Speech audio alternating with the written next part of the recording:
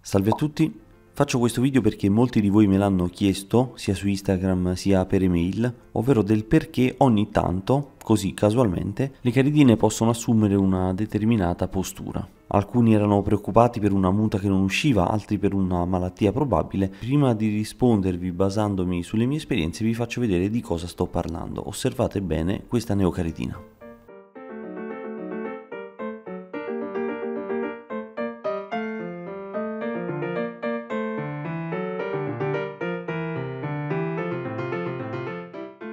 Sicuramente se avete avuto delle credine avrete visto questo, ovvero questo rannicchiarsi, questo piegarsi in due su se stesso della caridina e questo ovviamente ha portato a molti di voi a domandarsi del perché facessero questo.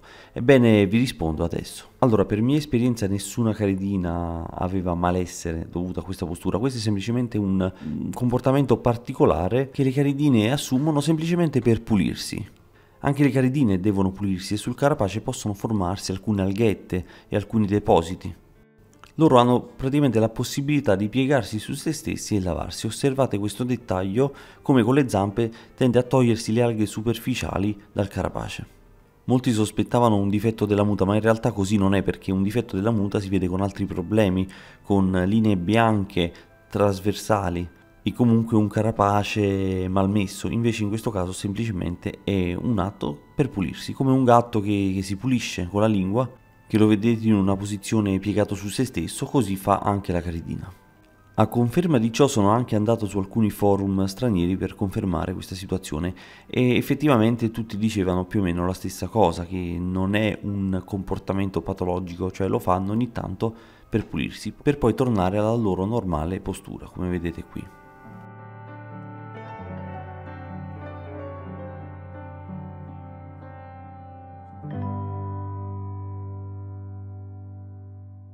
Questa che vedete la caridina yellow ovviamente lo fanno tutti i tipi di caridine, ho visto anche le multidentata fare questo.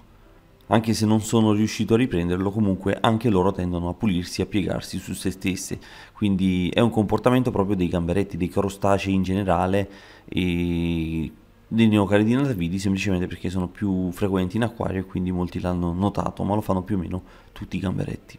Bene amici, questo è più o meno tutto. A me piace fare video di questo genere quando rispondo a alcuni quesiti, ovviamente sempre compatibilmente alle riprese che riesco a fare. Ovviamente questo è tutto materiale mio, quindi per poter fare un video per rispondere alle domande devo necessariamente fare le riprese di quello che capita anche a me. In ogni caso potete fare tutte le domande che volete sul gruppo di acquariofilia aperto da diversi mesi ormai eh, su Facebook. Vi metto il link in descrizione potete iscrivervi al gruppo, potete postare il vostro acquario o fare domande oppure semplicemente anche voi stessi aiutare altri che pongono dei quesiti.